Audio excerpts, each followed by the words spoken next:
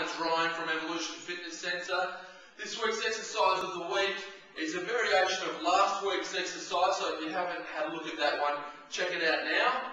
You're going to be doing an exercise using the gymnastics rings to really hit the glutes and the hamstrings hard, as well as activate the core. So we're going to lie down, you're going to set the rings at about thigh or a bit below waist height. Lie down, Put your rings in the, your feet in the rings.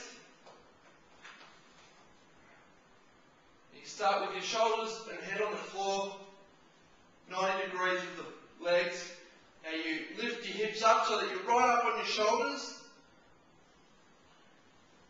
45 degrees, 90 degrees. 45 degrees, 90 degrees. Really push the hips up as you push away.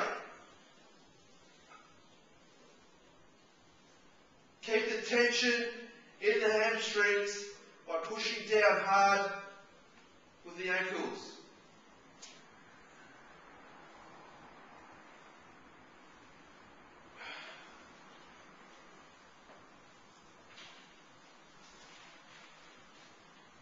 It's really important that you keep pushing down on the rings with your ankles and that when you lift your, your hips up, you stand right up on your shoulders, right up on your trap muscles there.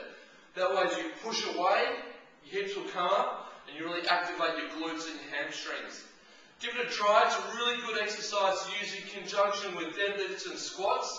So do the heavy, uh, heavy lifting and the, the heavy load-bearing exercises first, then finish off with a few sets of high repetition exercises such as that one. Give it a go and let me know how you go. My email is ryan at evolutionfitnesscentre.com.au or check out the website at evolutionfitnesscentre.com.au and I'll see you next week.